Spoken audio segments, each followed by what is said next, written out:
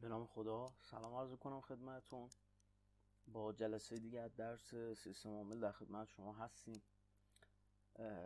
در این جلسه می‌خوایم section یک چهار به بعد رو بهش بپردازیم یعنی interrupt و سعی کنیم که chapter یکی کتاب استالینگز رو اون بخش هایش رو که حالا ما بهش نیاز داریم و حتما بایستی قبل از اینکه وارد مفاهیم سیستم عامل بشیم review بکنیم. توی این بخش اونا رو حتما با هم دیگه بخونیم پوشش بدیم و روشون کار بکنیم و بریم جلو. بنابراین ما از interrupt شروع می‌کنیم و جلو میریم. پیشتر ما راجع به این قضیه صحبت کردیم که به حال توی memory کامپیوتر یکی از element های اصلی processor بود و خب آشنا شدیم با اینکه چطور یک processor دستورات رو فچ می‌کنه و اجرا می‌کنه و حالا نه خیلی با جزئیات ولی خب تا یه حد خیلی کلی و سطحی با قضیه آشنا شدیم. توی به حال کامپیوترهایی که ما داریم و امروز استفاده میشه یه مکانیزمی وجود داره که ماژول هایی مثل آی او یا مموری که با اونها هم قبلتر آشنا شدیم اون روند اجرای پروسسور که به شکل نرمال و طبیعی داره پیش میره رو interrupt می‌کنن. یعنی خللی در روند اون اجرا ایجاد می‌کنن که حالا به این interrupt فارسی زبان ها وقفه میگیم ما بهش. ولی حالا ما تو literature ی که داریم کار می‌کنیم بهش همون interrupt میگیم و توضیح میدیم که حالا این interrupt یا این وقفه ای که به حال داره توی روند اجرای processor ایجاد میشه چی هست و چه مدل هایی داره و هر کدوم از این مدل ها به چه دلیلی وجود دارن. خب آی استالینگز میاد یک جدولی درست بکنه table یک یک که توی این انواع کلاس های interrupt ها رو معرفی می‌کنه که اولیش interrupt ی هست به اسم program که میگه که زمانی این interrupt رخ میده که در اجرای یک instruction موقعی که processor داره یک instruction رو اجرا می‌کنه یکی از این اتفاق ها بیفته. مثلا اریتمتیک اوورفلو. شما به طور مثال تصور بکنید که ما دو تا عدد چهار بیتی داریم و اینها رو می‌خوایم در همدیگه ضرب بکنیم و حاصل رو مثلا در یک رجیستر چهار بیتی قرار بدیم. خب ممکن هست این اعداد چهار بیتی که در هم ضرب می‌کنیم حاصلی بیش از چهار بیت برای ما برمغان بیاره.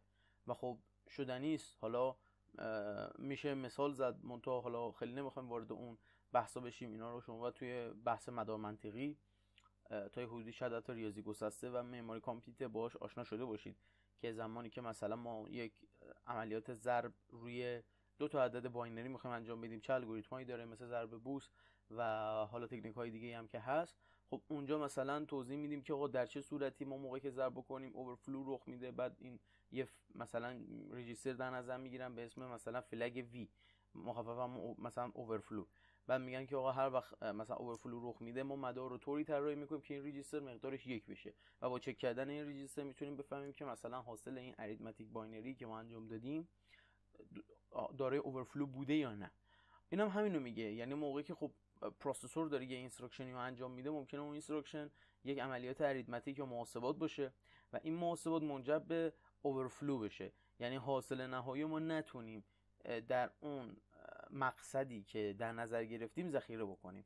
یعنی مقصد ما سایز کمتری داره نسبت به اون حاصلی که ما به دست آوریم دلیل دیگری که ممکنه یک program interrupt رخ بده division by zero هست. ممکنه که یک instruction ی که processor داره اجرا می‌کنه قصدش این باشه که یک عملیات تقسیم بر صفری انجام بده. و خب همونطور که می‌دونیم توی بحث arithmetic ما تعریف نشده است. و خب این یعنی یک اشکالی وجود داره. و خب اگر جلوی CPU به نوعی گرفته نشه CPU یا اون processor کارش رو ادامه میده و خب درست نیست دیگه. اصلا برای همینه ما می‌خوایم interrupt بدیم. یعنی می‌خوایم CPU داره اجرا می‌کنه عملیات رو انجام داده ما می‌فهمیم که مثلا حالا این مایی که میگم بعدا می‌فهمیم این ما کیه ها. یعنی interrupt تو user نمیده. خب حالا متوجه میشه مثلا گاهی اوقات interrupt تو یک مدار میده. یعنی ما یک مداری داریم که interrupt میده. گاهی اوقات interrupt توسط یک element توی اون معماری انجام می‌گیره مثل timer. حالا اینا رو باش آشنا خواهیم شد. علیه حال ما دقیقا می‌خوایم جلوی روند اجرای معمولی یک process همین دلیل بگیریم که بهش بفهمونیم آقا یه arithmetic overflow رخ داده یک division by zero رخ داده. یا اینکه اون instruction ی که داره اجرا میشه یک دستور غیر مجازه مثلا آقا اون برنامه که شما نوشتی داری یه دستوری اجرا می‌کنه که دسترسی اجرای یک چنین دستوری رو نداره. ما باید به CPU اطلاع بدیم. یا اینکه شما مثلا خب اونایی که برنامه نویسی انجام میدن کار با pointer ها رو قطعا انجام دادید دیگه. یعنی شما مثلا دارید کار با memory انجام می‌دید به نوعی. موقعی که مثلا دارید یک برنامه زبان C می نویسید و یک pointer ی مثلا به یک آدرس یا حافظه تعریف می‌کنید دارید خب کار با memory یه جوری انجام می‌دید. ممکن هستش که شما یه برنامه بنویسید که بخواد به یک قسمتی از memory دسترسی پیدا بکنه که اجازهشو نداره. و باید جلو اینا گرفته بشه. منتها میگم کسی که جلو اینا رو می‌گیره user نیست. حالا اینکه کی جلو اینا رو می‌گیره ما خواهیم دید. مثلا ما تو درسای آیندهمون خواهیم دید که آقا زمانی که یه برنامه که شما نویسید می‌خواد به یک قسمتی از حافظه دسترسی داشته باشه که اجازهشو نداره با چه مکانیزمی به processor interrupt داده میشه؟ اینا رو همه رو شما جلوتر خواهید دید. منتها ما فعلا بحثمون اینجا اینطور نیستش که چطور این interrupt به وجود میاد یعنی اون چگونگی پیاده سازی این interrupt رو بخوایم بیان بکنیم. ما فعلا می‌خوایم بفهمیم که ما چرا interrupt داریم و چند مدل interrupt داریم. interrupt دیگر timer هست که توسط همونطور که از اسمش مشخصه توسط یک timer به processor این داده میشه. که خب این timer خیلی به درد ما می‌خوره. به خصوص جلوتر که برسیم سر الگوریتم scheduling اونجا بیشتر کاربردش رو ملاحظه می‌کنی. ولی خب همونطور که مشخصه ما یک time ی رو ست می‌کنیم. این timer شروع می‌کنه اون time رو count کردن. و زمانی که count down بشه و اون time تموم بشه باید یک interrupt ی به processor داده بشه. و خب حالا کاربردش هم جلوتر در درسهای آینده حتما خواهید دید. interrupt بعدی از نوع I/O هست و همونطور هم که نوشته توسط یک I/O controller این interrupt صادر میشه. و خب این interrupt می‌خواد دو تا چیز رو احتمالا بیان بکنه که بگه که آقا یه عملیاتی که داشت توسط مثلا یک I/O module یک I/O device انجام می‌شد کامل شده؟ یا اینکه یک خطایی رخ داده توی اون اجرای عملیات و خب می‌خواد اجرای اون CPU رو وقفه بده و خب CPU بیاد به این عوامل رسیدگی بکنه. که حالا ما احتمالا با همین I/O interrupt توی همین درس یعنی تو همین جلسه آشنا خواهیم شد. جلوتر خواهید دید که این I/O interrupt چه کاربردی داره و چقدر performance ما رو افزایش میده. interrupt بعدی hardware failure هست. که توسط یک failure که حالا این failure می‌تونه power failure باشه مثلا یک نقصی توی برق باشه یا بحث memory باشه یک memory parity اصطلاحا بهش میگن. خب شما با واژه parity توی درس منطقی یا memory آشنا شده باشید که حالا به چه صورت هست. منتها مراتب برای اینکه ما بفهمیم data یی که داریم درست هست یا نه از یک مکانیزمی استفاده می‌کنیم به اسم parity.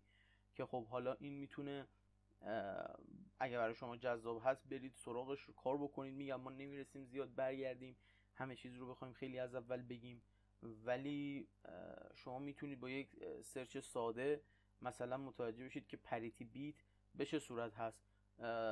با استفاده از یکی از اپراتورهای منطقی مثل XOR ما وقتی یک رشته binary داریم تمام این بیت ها رو با هم دیگه XOR می‌کنیم و یک parity bit می‌سازیم و خب حالا اینکه این چه, چه کاربردی داره این parity bit و خب چطور می‌تونیم بفهمیم که data یی که داریم درست هست و یا درست نیست دیگه به عهده شما باشه. یکی از کاربردهای دیگه هم کلا اینو بحث error error checking هست که بیشتر هم توی بحثای شبکه‌ای کاربرد داره. خب البته توی سیستم عامل هم تا یه حدی خیلی زیادی کاربرد داره. مطمئنا اونایی که میرن سمت شبکه و به خصوص درسایی مثل انتقال داده. اونجا اصلا یه علمی هست به اسم coding theory و خب با تمام این مباحث اونجا حسابی آشنا میشن و دست و پنجه نرم می‌کنن. خب ما تا یه حدودی حالا اینکه با چند نوع interrupt داریم و هر کدوم از این interrupt دارن چه کاری رو برای ما انجام میدن آشنا شدیم. منتها مراتب نکته که وجود داره اینه که می‌خوایم بفهمیم که آقا این عرضم به خدمتتون interrupt چه کاربردی برای ما داره و چه سودی اصلا برای ما داره.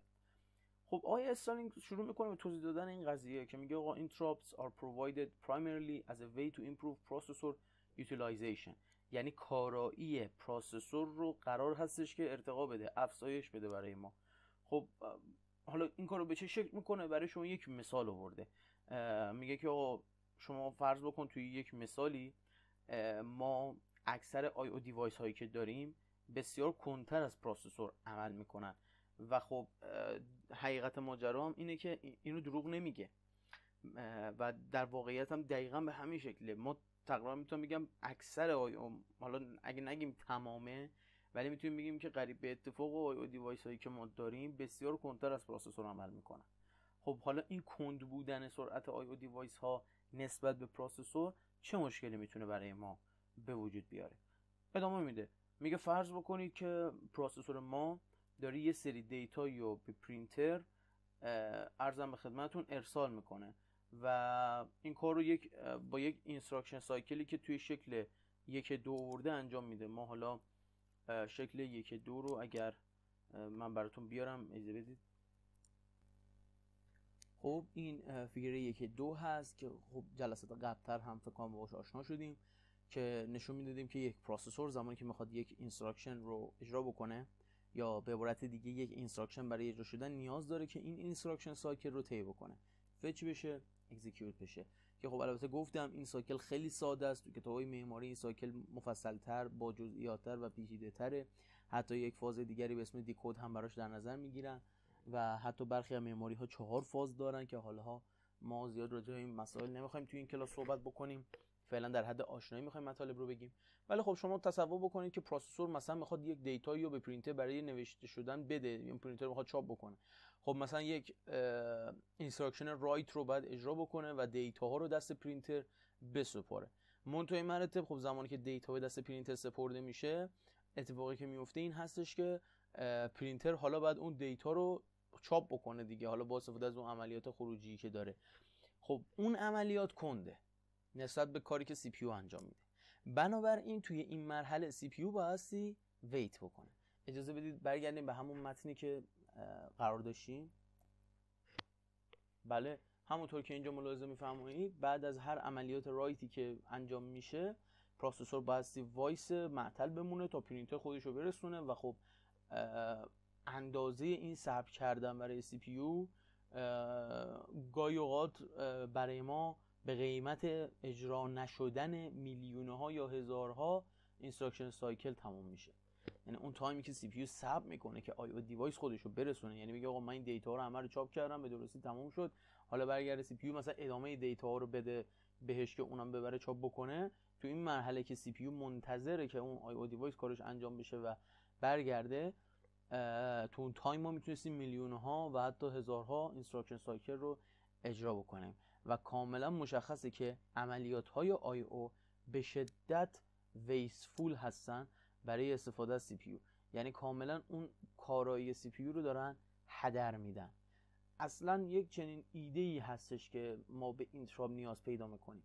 و interrupt سعی می‌کنه که اون وقفه ای که CPU منتظر هست تا I/O بره کارش رو انجام بده تموم شه و برگرده رو یه جورایی پوشش بده که بتونیم از CPU تو اون وقفه استفاده بکنیم.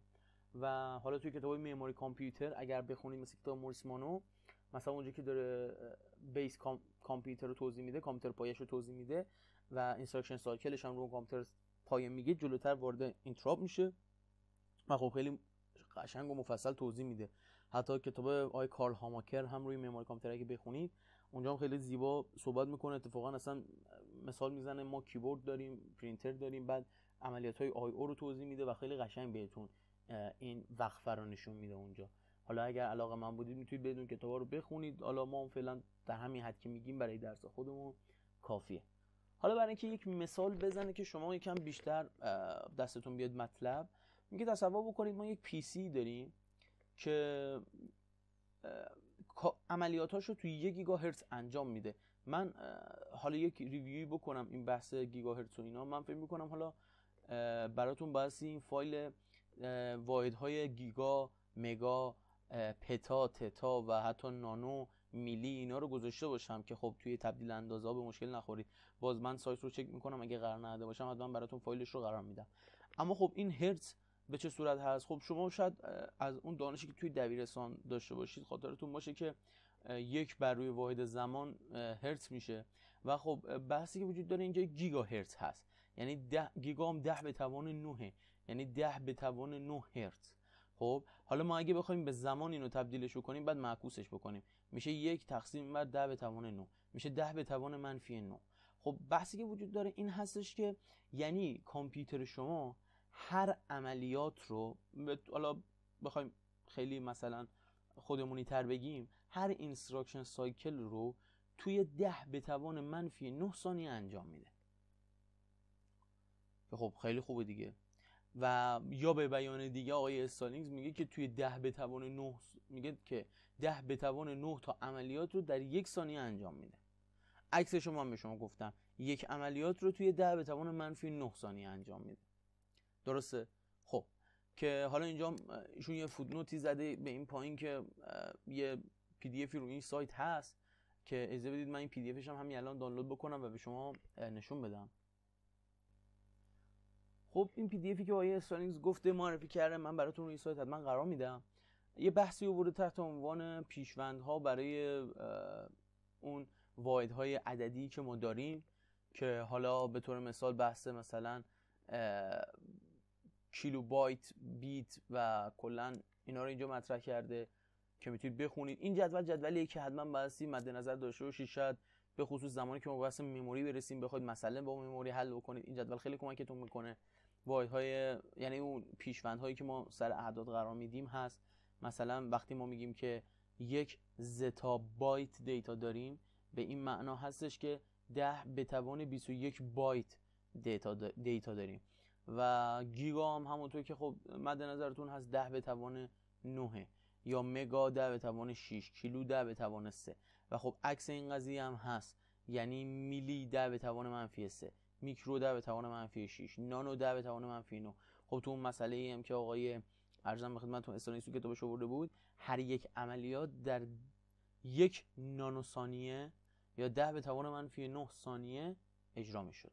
که خب حالا این PDF هم براتون قرار میدم به خاطر این جدول خوبی که اینجا داره که بتونید سر فرصت یه مطالعه بهش داشته باشید. میگم چون این جدول در حقیقت داره همون مطالبی که شما باید توی درس مدار منطقی و معماری کامپیوتر میخوندید.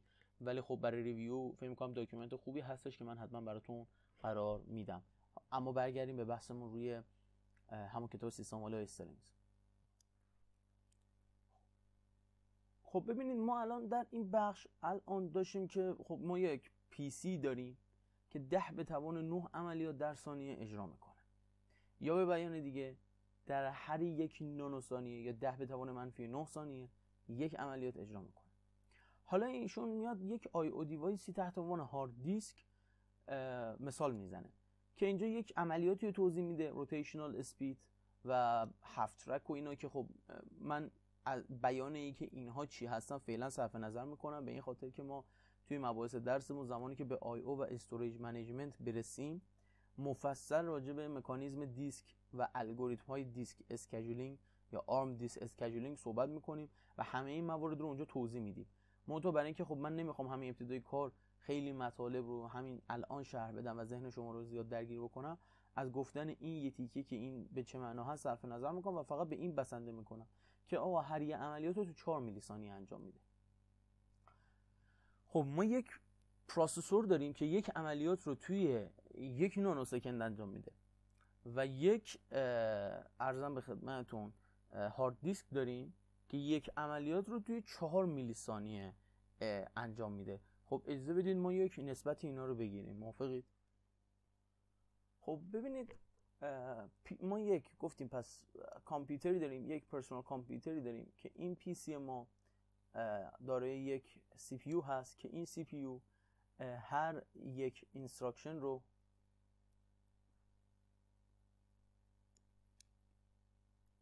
در ده به توان منفی 9 ثانیه انجام میده. که خب این هم همون معادل یک نانو سکند هست. و خب این پی سی ما یک دیسکی داره که هر یک عملیات رو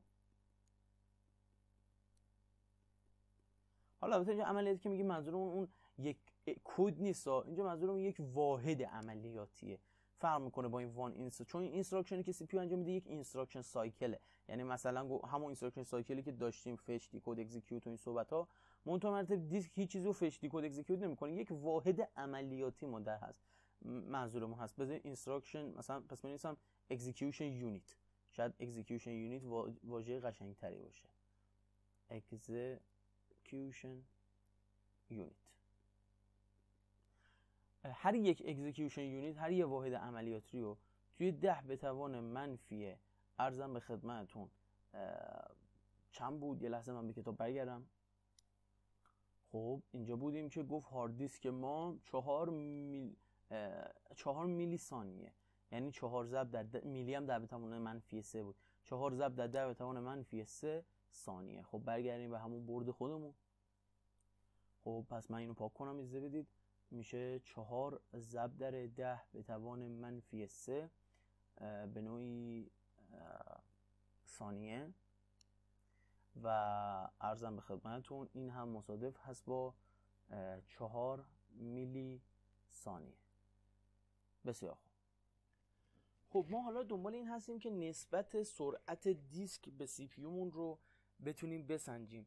خب برای اینکه این کارو بکنیم میایم نسبت می‌گیریم که به حال آقا ما یه واحد اجرایی توی CPU مون انقدر یه واحد اجراییمون توی دیسک انقدر.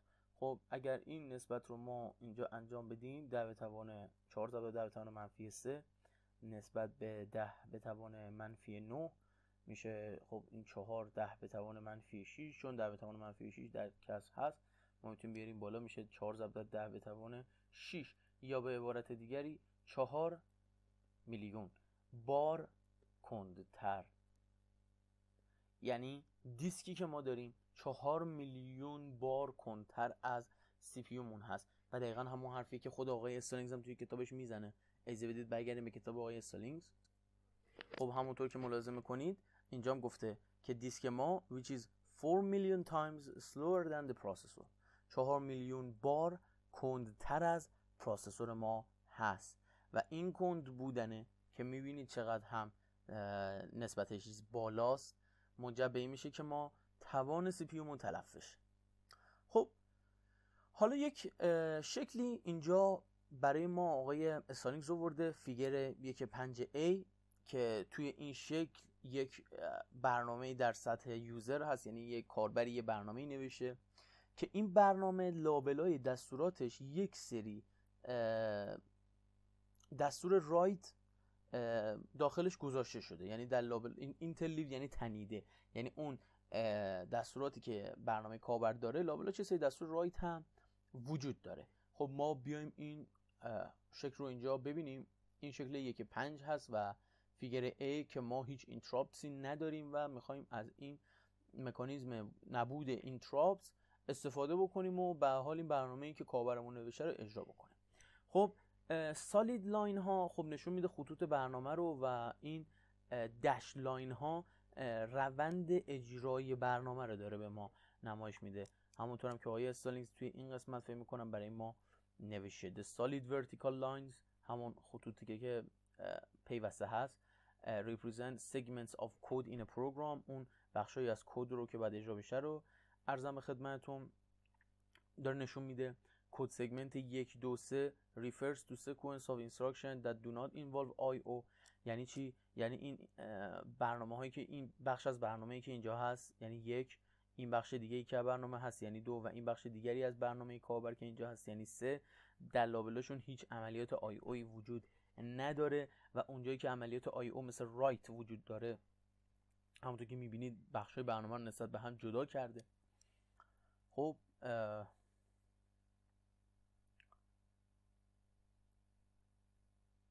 و اون دستورات write هم یک سری IO routine هستن که سیستم انجام میده برای اینکه بتونه اون عملیات IO رو به نوعی کامل بکنه. حالا میگن که خود عملیات IO از سه بخش تشکیل شده. خب همونطور هم که اینجا ملاحظه میفرمایید زمانی که یک system call write حالا اینکه واژه system call رو راستش نمی‌خواستم استفاده بکنم چون بعد توضیح بدیم چیه و این مربوط به علم سیستم عامل میشه که حسابی راجعش خواهیم خوند اما میگیم دستور write دستور کلمه بهتری فعلا برای ما. وقتی دستور write اینجا صدا زده میشه خب یک عملیات IO بایستی صورت بگیره. و خب این IO program همونطور که می‌بینید از سه بخش تشکیل شده. یک بخش که یک کد چهار هست یک بخش کد پنج هست و یک دستور IO command که خب این رو اینجا آقای استالینگز برای ما توضیح داده. Sequence of instructions. اون دنباله ی دستورات که label چهار خورده توی شکل برای این هستش که اون عملیات IO آماده بشه که اجرا بشه. به طور مثال شما فرض کنید که شما یک پرینتر داری یه عرضم به خدمت CPU و این CPU می‌خواد یک دیتا رو منتقل بکنه به پرینتر که پرینتر چاپش بکنه. اون مرحله که دیتا کپی میشه برای اینکه توسط پرینتر بخواد output داده بشه خب ما اون دیتا رو توی یک special buffer قرار می‌دادیم. تو جلسات قبل اگه خاطرتون باشه ما موقعی که توی یک شکلی نشون می‌دادیم CPU memory و IO به چه صورت هستن؟ IO یه buffer داشت که کاربرد اون buffer رو هم توضیح دادیم. اگه یادتون رفته من اون جلسه رو مرور بکنیم. مثلا برای اینکه اون دیتا رو کپی بکنه توی اون buffer ه که مثلا اون دستگاه آماده بشه اون عملیات رو انجام بده این می‌تونه اون مرحله چهار باشه که اینجا نوشته. یعنی پس این بخش چهار یه جورای preparation عملیات IO هست که مثلا به طور مثال گفتیم کپی کردن اون دیتایی که قراره مثلا توسط پرینتر چاپ بشه توی buffer ش. The actual IO command یعنی همین IO command ی که اینجا وجود داره که خب ما هیچ interrupt هم نداریم. اصلا بحث interrupt فعلا مطرح نیست. ولی خب زمانی که این دستور issued بشه و ساطع بشه اجرا بشه برنامه ما بایستی وایسته تا اون IO device اون کاری که داشته انجام می‌داده رو به اتمام برسونه. و خب حالا مثلا CPU اینجا چه مکانیزمی می‌تونه به کار ببره؟ برای اینکه مثلا متوجه بشه که آقا اون IO device اون در اون function ی که ما ازش خواستیم اون کارایی که ازش خواستیم اون کاری که بهش سپردیم بره انجام بده رو آیا تموم کرده یا نه؟ که مثلا اینجا یه عملیاتایی هم مثل polling خب؟ یا مثلا چک کردن status IO device یا polling IO device این polling و چک کردن IO device به طور با detail و جزئیاتش توی کتاب های معماری کامپیوتر مثل کتاب آقای کارل هاماکر و موریسمان وجود داره. می‌تونید بخونید و حسابی لذت ببرید. حتی کتاب های استالینگز هم هست. منتها مرتب یه جورایی هی سرکشی می‌کنه دیگه. یعنی هی سر می‌زنه به IO که آقای IO تو مثلا IO device تو کار تموم شد یا نه. مثلا فرض کنید IO device یه register ی داره هر وقت کارش تموم بشه یه مقدار یک تو اون register قرار میده. حالا CPU مقدار اون register رو چک می‌کنه آقا مثلا این هر وقت یک شد یا نه یک شد یا نه یک شد یا نه. تا هر وقت یک شد بفهمیم IO device کارش تموم شد یا نه. پس CPU جای اینکه بره اون همه instruction رو انجام بده میلیون ها instruction رو انجام بده چهار میلیون instruction رو انجام بده مجبوره wait بکنه. که IO device کارش تموم بشه. و همونطور که می‌بینید یعنی انگار که هی بخواد CPU یک برنامه test operation انجام بده تا بفهمه که آقا آیا اون IO operation به اتمام رسیده یا نه. خب پس این این ناحیه از کده. IO command و بخش پنجم برای اینکه اون IO operation موقعی که می‌خواد تموم بشه یک سری عملیات ها انجام میشه. مثلا ست کردن یه سری flag به معنای اینکه آقا این ما منظورمونم فلگ معمولا یک رجیستر یک رجیستره که یه بیت شما به عنوان یه فلگ خاص در نظر می‌گیریم. به این معنا که این اگر این فلگ صفر بشه یه معنا داره اگر این بیت یک بشه یه معنای دیگه داره. پس هر وقت میگه فلگ شما یه رجیستر یه بیتی در نظر بگی معمولا یه بیتی نی یه رجیستر چند بیتیه که هر بیتش برای یک فلگ خاص استفاده میشه. که خب این فلگ ها به ما نشون میدن که آقا چه اتفاقی افتاده. مثلا فرض کنید که ما یه flag داریم که این flag اگر یک بشه می‌فهمیم که آقا عملیات I/O operation به درستی انجام شده. اگر failed بشه می‌فهمیم که اگر صفر باشه اون flag می‌فهمیم که آقا اون operation به درستی انجام نشده. و خب اینم توسط CPU انجام میشه چون خود I/O device اون قدرت رو نداره که بخواد همچین کاری بکنه. و حالا عملیات های دیگه لزوما فقط success or failure اون عملیات نیست. خیلی چیزای دیگه هستش که میگم. چون به علم معماری میشه ما اینجا زیاد نمی‌خوایم بهش بپردازیم. علی ای حال تا اینجا چیزی که ما فهمیدیم اینه. یک user program داریم از سه بخش تشکیل شده. این سه بخش که یک دو سه شما رو گزارش شده لابلا هیچ عملیات I/O نداریم. اما بین بخش یک و دو عملیات I/O هست بین بخش دو سه عملیات I/O هست. هر وقتی عملیات I/O issue میشه یک I/O program باید اجرا بشه که سه بخش داره. بخش چهار preparation عملیات I/O هست. I/O command اونجایی هستی که سی پی با وایس تا آی او دیوایس کارش انجام بده و بعد از اینکه کار انجام شد CPU اون مراحل پایانی I/O که مثل چ... که مثل ست کردن یه سری flag یا حتی چک کردن یه سری flag هست رو انجام بده.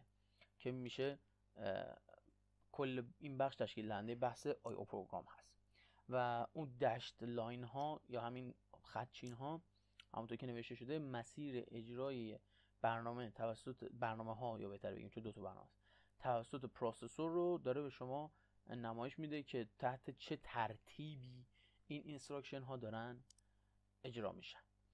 که خب حالا من یه توضیح اگه بخوام رو خود شکل بدم. الان processor ما در حال اجرا کردن user program هست تا این بخش write. موقعی که دستور write issue میشه processor باید بیاد یک I/O program رو اجرا بکنه. که اینجا تا بخش 4 اجرا می‌کنه. I/O command وقتی issue شد اینجا باید wait بکنه تا I/O device کارش تمام بشه. I/O device کارش تمام شد این بخش 5 رو هم processor اجرا می‌کنه و برمیگرده به همون دستور write. و از این write به بعد شروع می‌کنه. دستور این بخش دوم کد کاربر رو شروع می‌کنه اجرا کردن تا دوباره به دستور write بخوره. دستور write که اجرا بشه بس بره I/O program رو CPU اجرا بکنه. و دوباره بخش 4 رو اجرا می‌کنه. تو I/O command wait می‌کنه. کار I/O device تموم شد میره بخش 5 رو انجام میده و برمیگرده سر جایی که بود و بخش 3 رو انجام میده و دوباره رایت و دوباره همین بازی و دوباره برمیگرده. که خب فکر می‌کنم این سناریو رو اینجا هم توضیح داده و توضیح داده که به چه شکلی داره انجام میشه.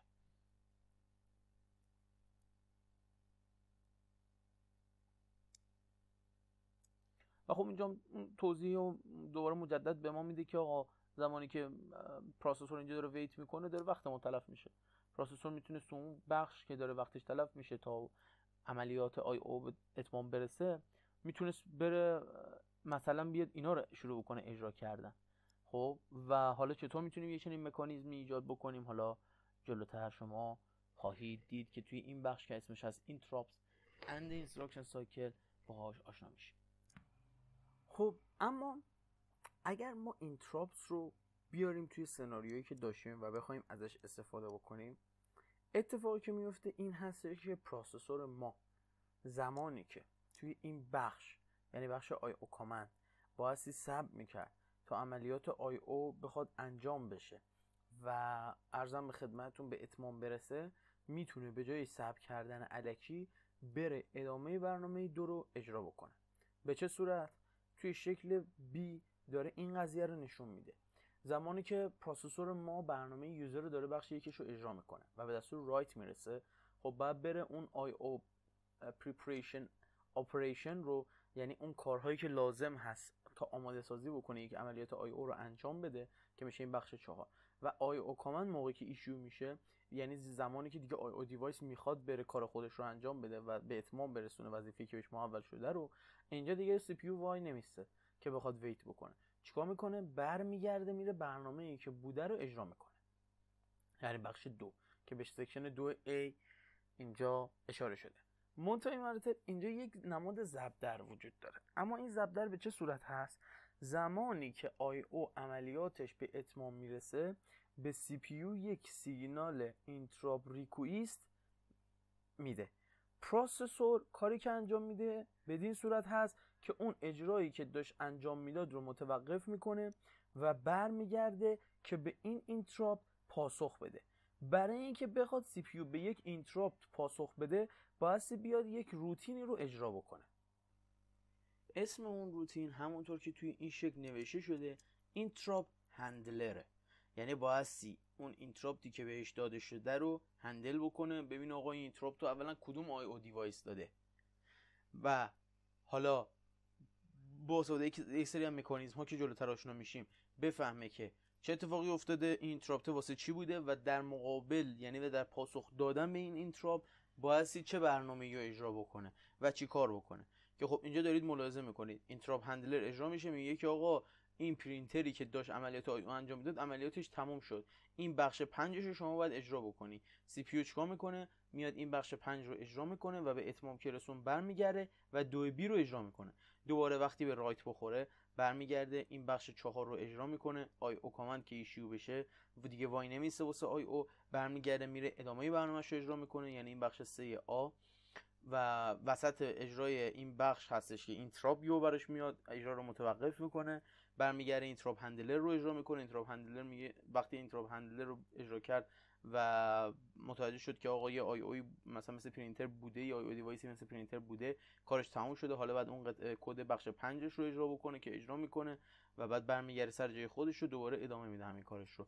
که خب این توضیحات بندر آقای استالینگز اینجا برای شما آورده که همونطور هم که اینجا گفتیم اون برنامه ای که processor اجرا می‌کنه برای اینکه بفهمه که آقا این interrupt رو کی داده و بعد در مقابلش پاسخی بده interrupt handler هست.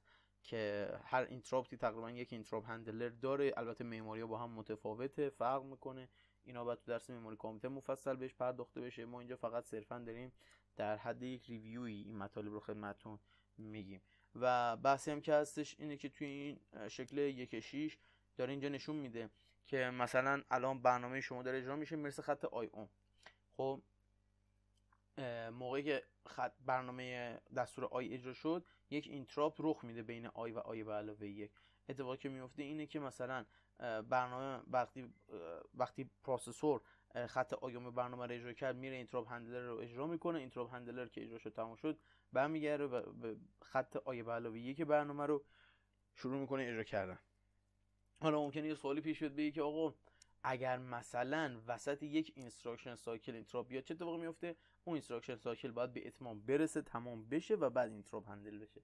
اینطور نیستش که بگیم وسط یک instruction cycle وقتی مثلا یه interrupt میاد interrupt رو ول بکن. که اینا تو کتابای معماری هست و مفصلتر می‌تونید این رو بخونید. خب حالا اون instruction cycle ی که ما داشتیم رو عرضم به خدمتتون میایم یکم کامل ترش می‌کنیم. یعنی علاوه بر فاز fetch و execution یک فاز check interrupt هم اضافه می‌کنیم. یعنی آقا زمانی که یک دستوری fetch شد اجرا شد ما چک می‌کنیم که آقا interrupt enable هستیم یا interrupt disable interrupt enable یا interrupt disable یعنی چی؟ اگه interrupt disable باشیم یعنی اینکه آقا هر چی interrupt اومد شما محل نذار. کار خودت اجرا کن. اگر interrupt enable بودیم یعنی آقا چک کن interrupt ی اومده یا نه. اگر interrupt اومده interrupt handler ش رو اجرا بکن.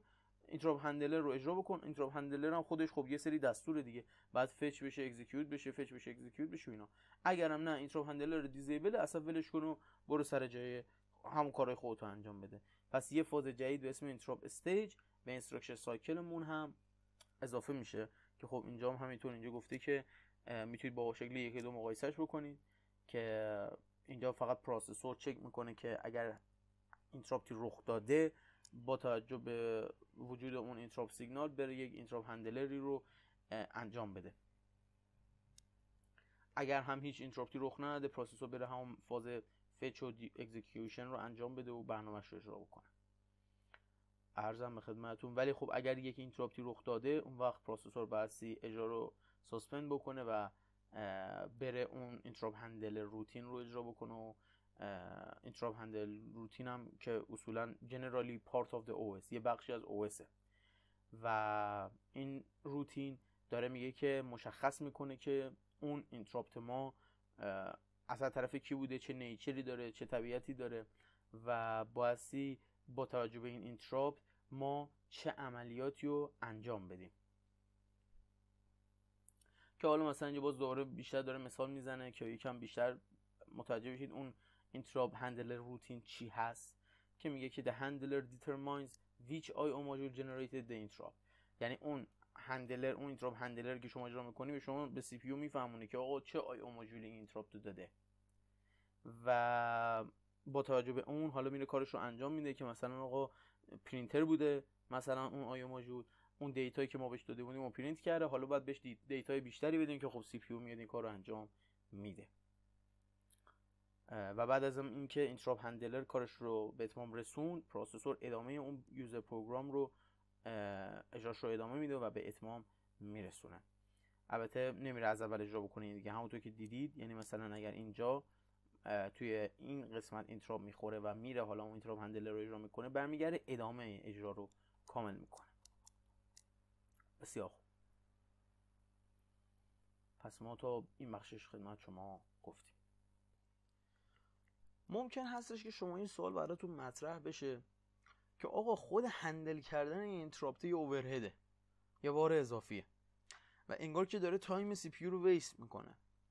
و انگار که به نظر می‌رسه ما حتی یعنی I/O interrupt رو نداشتیم باز می‌تونستیم همون کارایی رو داشته باشیم که CPU می‌رفت صبر می‌کرد تا مثلا اون I/O کارش تمام بشه. اما اینطور نیست. اون حجم از time ی که processor می‌ذاره برای اجرا کردن interrupt handler که بتونه تصمیم بگیره که آقا appropriate action اون اکشن مناسبی که با توجه به interrupt رخ داده انجام بده چی هست؟ بسیار کمتره. و ما اگر از interrupt خوب استفاده بکنیم می‌تونیم efficiency خیلی خوبی رو به دست بیاریم.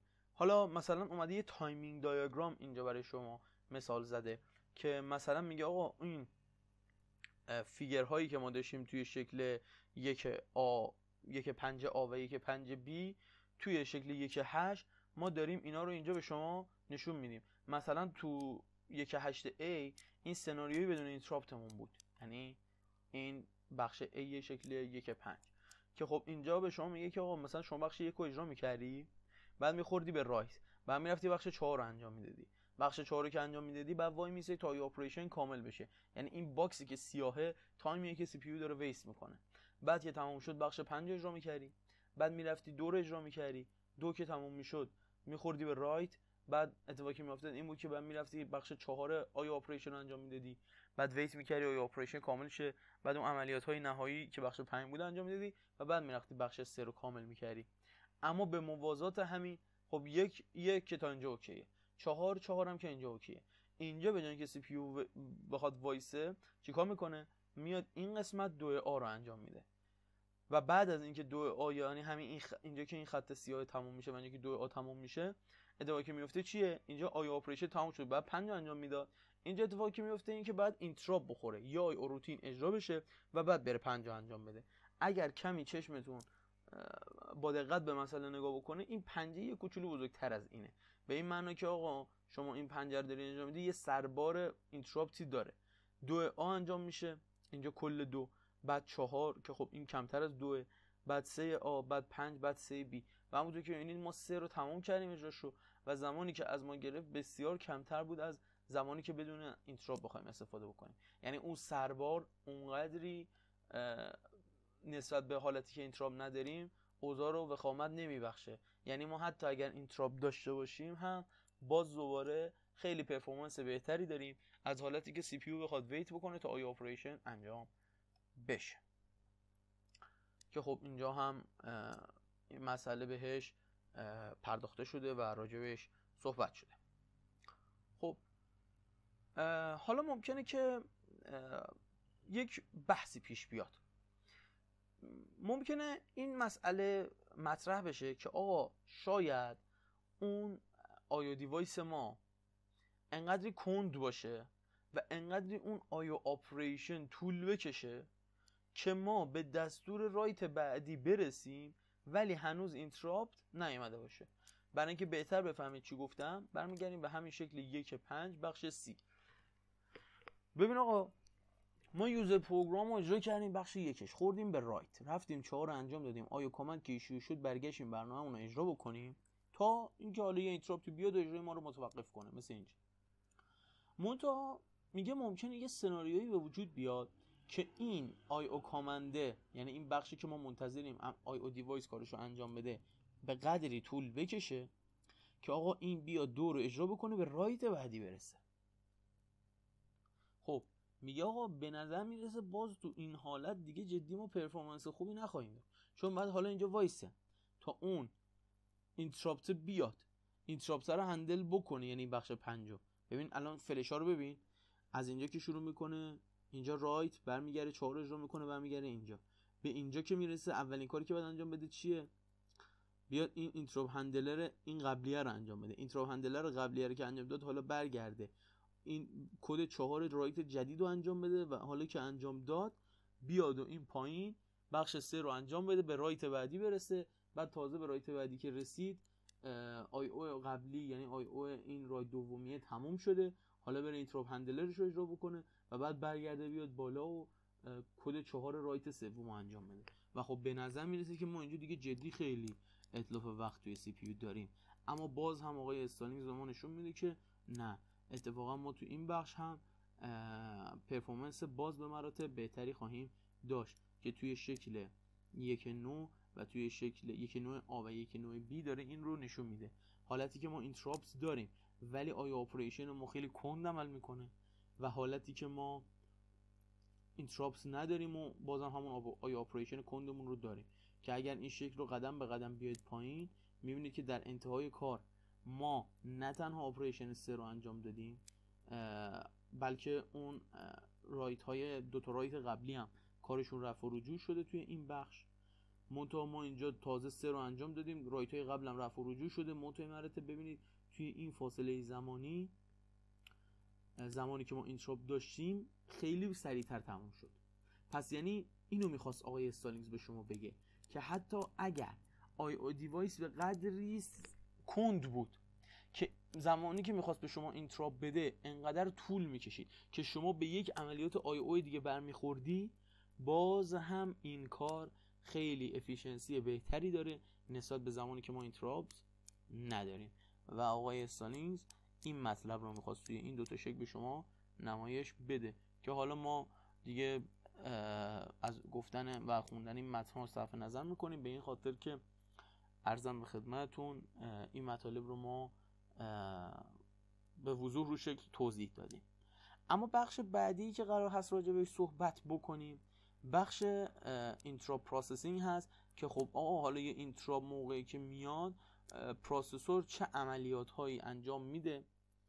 تا اینکه اون interrupt کاملا رفع و رجوع بشه و processor به حالت قبل از interrupt خودش برگرده. زمانی که یک interrupt رخ میده یک سری event هایی صورت می‌گیره تا این interrupt رفع و رجوع بشه. گاهی اوقات این event ها hardware ی هن گاهی اوقات سافتوری. ما همش رو می‌خوایم پوشش بدیم و بفهمیم که در کل چه مراحلی طی میشه تا یک اینتراپ از زمانی که ایجاد میشه از زمانی که فعال میشه تا زمانی که رفع رجوع میشه چه اتفاقایی رخ میده. که توی شکل یک ده دقیقا این شکل داره به شما نمایش داده میشه. اول بخش های هاردوری داره که صورت می‌گیره و سپس بخش های software ی داره که صورت می‌گیره. که ما می‌خوایم قدم به قدم این ده مرحله تقریبا رو بخونیم و بفهمیم که به چه صورت هست و تو هر مرحله چه اتفاقی رخ میده خب تو مرحله یک The device issues an interrupt signal to the processor I/O device ما یک interrupt یک سیگنال interrupt رو به processor ما میده که خب اینجا هم همین نوشته device controller or other system hardware issues an interrupt این مرحله اول مرحله دوم the processor finishes execution of the current instruction before responding to the interrupt یعنی قبل از اینکه بخواد به اون interrupt پاسخی بده اون instruction ی که داشت اجراش می‌کرد و باید به اتمام برسونه. دقیقا همون چیزی که توی figure یک هفت توی شکل یک هفت یعنی این بخشی که ما اینجا داریم. اگر شما ملاحظه بکنید گفتم الان مثلا فرض کنید که processor شما داره یه user program رو اجرا می‌کنه. instruction رو fetch کرده interrupt اومده. ول نمی‌کنه بره interrupt رو انجام بده. چیکار باید بکنه؟ instruction رو execute بکنه. حالا اینجا که می‌خواد چک بکنه interrupt disable enable اگر تازه interrupt enabled بود یعنی processor ما اجازه داشت که interrupt رو پاسخ بده ما میایم interrupt رو پاسخ میدیم. اگر ما ممکنه حتی اجازه رو بگیریم از processor که interrupt رو پاسخ بده. یعنی ممکنه داریم یه برنامه اجرا می‌کنیم که خیلی priority یا اهمیتش برای ما بالاست. ما نمی‌خوایم وسطش هیچ وقفه رخ بده. اون موقع interrupt رو اصلا disable می‌کنیم. هر چقدر interrupt بیاد اصلا processor کاری نداره. میره اون برنامه خودش اجرا می‌کنه. خب پس این instruction cycle ی که هفت باعث این دید رو به شما بده که interrupt می‌تونه توی هر کدوم از این بخش ها رخ بده. منتها مراتب فقط زمانی interrupt handle میشه که اولا ما interrupt enable باشیم. دوما هیچ instruction تو مرحله قبل از execution نباشه. و یعنی instruction آخر execution انجام داده باشه و حالا بخواد اینجا تصمیم می‌گیره که کجا بره. خب ما برگردیم به بحثم. حالا. processor بعد از اینکه دستورش رو اجرا کرد حالا می‌خواد چک بکنه که interrupt هست یا نه. یعنی می‌خواد تست بکنه برای وجود یک interrupt request. اگر یه دونه پیدا کرد اگر مثلا خب یه ممکنه چند تا interrupt باشه ها کاری نداریم. ولی خب ممکنه یه به هر حال یه دونه interrupt وجود داشته باشه حداقل. چیکار می‌کنه؟ یه interrupt رو انتخاب می‌کنه برای پاسخدهی و به اون device ی که این interrupt رو داده یک acknowledgement signal میده. acknowledge معمولا حالا اونایی که تو درس شبکه باز بیشتر با این request acknowledge آشنا میشید معمولا یه تاییدیه است که من دریافت کردم interrupt تو رو. پس این acknowledge رو به اون device میده که آقا من interrupt تو دریافت کردم اینتراپت سیگنال تو ریموو کن. که من دیگه تو بین interrupt هایی که مثلا دارم چک می‌کنم وجود نداشته باشه. چون من یه بار تو رفع رجوع دارم می‌کنم دیگه. interrupt تو دارم رفع رجوع می‌کنم. interrupt سیگنال تو پاک کن. خب؟ این کار انجام میده منتها یعنی ما تو الان این سه مرحله رو رفتیم. device controller که گفتیم processor finishes execution of current instruction instruction فعلی که داره اجرا می‌کنه تمام می‌کنه. processor signals acknowledgement of interrupt acknowledgement رو ارسال می‌کنه. processor pushes PSW and PC onto control stack. عجیب شد. خب PC که program counter ه اما PSW ببینید processor موقعی که داره یک برنامه رو اجرا می‌کنه یک سری اطلاعات در رابطه اون برنامه هست که در حال اجراست. اون اطلاعات یکیش خب مثلا program counter ه که آقا expression بعدی که باید اجرا بشه چیه یه سری دیگه از اون اطلاعات در رابطه با اون برنامه رو ما اصطلاحا بهش میگیم program status word یا PSW مثلا چه اطلاعاتی داره PSW توی این footnote این پایین برای شما اون اطلاعات رو توضیح داده که آقا اون برنامه currently running اون process ی که در حال حاضر در حال اجراست ممکن آقا یه سری اطلاعات باشه در رابطه با نحوه استفادهش هم memory ها؟ memory usage information یا یه بحث دیگه ای باشه اصلا بحث condition codes مثلا این بخش condition codes یکیش همون مثلا بیت flag مثلا overflow ه خب؟ یا یه سری اطلاعات دیگه در رابطه با اینکه آقا این interrupt enable هست یا interrupt disable ه یعنی این برنامه که ما داریم اجرا می‌کنیم حق داریم وسطش interrupt رو رفع رجوع بکنیم یا نه؟ و این برنامه که داره اجرا میشه این process تو سطح kernel یا تو سطح user؟ حالا سطح user و kernel رو انشالله میگم. PSW رو آقای استالینگز اینجا مجبور شده بیاره. ولی جایگاه اصلیش فصل سه. حتی اینجا میگه میگه برید appendix C رو بخونید. که آقا اونجا مثلا آشنا بشی که چی هست قبل از اینکه به فصل سه برسی منتها من از شما اجازه می‌خوام که PSW رو اگر بخوایم خیلی مفصل تر و خیلی همچین کامل و جامع توضیح بدیم. بعد اجازه بدید ما به فصل سه کتاب برسیم. البته سه کتاب که میگم سه کتاب های استالینگز ها. مثلا کتاب های تننباوم میشه فصل دوش.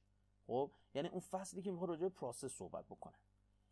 اما PSW در اصل یک رجیستره. حالا من یک مثال از PSW هم بهتون نشون بدم. در همین حد که فقط مثلا یه مثال هم دیده باشی ازش. بعد انشالله دیگه عبور کنیم از این بحث و اجازه بدید که PSW که کامل و جامع و خیلی مفصل بخوایم شرحش بدیم برای فصل سه نگهش داریم. خب ببینید الان این رجیستری که اینجا هست یه PSW مثلا مال شرکت اینتل EF EFLAGS X86 که حالا اینجا استالینگز توی فصل سومش اوورده این PSW رو و داره توضیح میدتش و حالا گفته یه مثالی اما از اینتل اووردیم و داره نشون میده. همونطور که ببینید یه رجیستر 32 بیتیه.